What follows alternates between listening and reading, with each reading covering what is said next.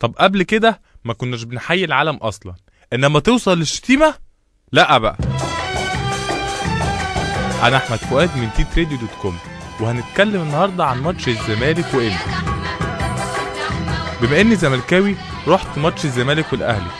لا آسف ماتش الزمالك وإنبي في نهائي الكاس. أصل جماهير الأهلي حضرت الماتش نيابه عن جمهور إنبي الافتراضي.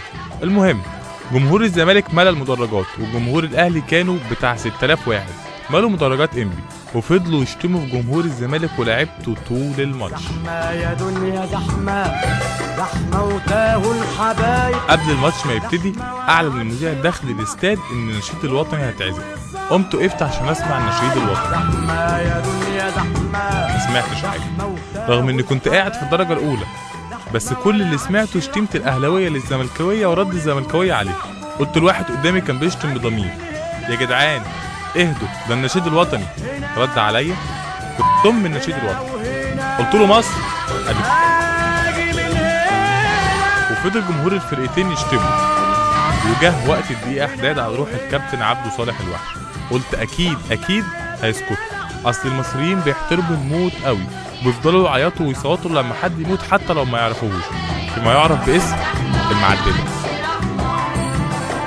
وفعلا الجمهور سكت. وقام واقف بس مفيش عشر ثواني وراح واحد رافع الطبلة اللي في إيده وقايل زمالك زمالك رد الجمهور وراه ثم الاهلي بدأ جمهور الأهلي هو كمان يرد عليه رغم إن عبده صالح الوحش ده أهلاوي. وابتدى الماتش وجمهور الأهلي فضل يشجع إنبي وكأن الأهلي ما خدش بطولة قبل كده والزمالك لو خد البطولة دي هيكسر معنويات الأهلي. وفضلوا يشتموا بعنصرية منقطعة النظير وبالذات مع شيكابالا. وكان رد الزملكاوية أنهم شتموا كل لعيبة الأهلي تقريبا.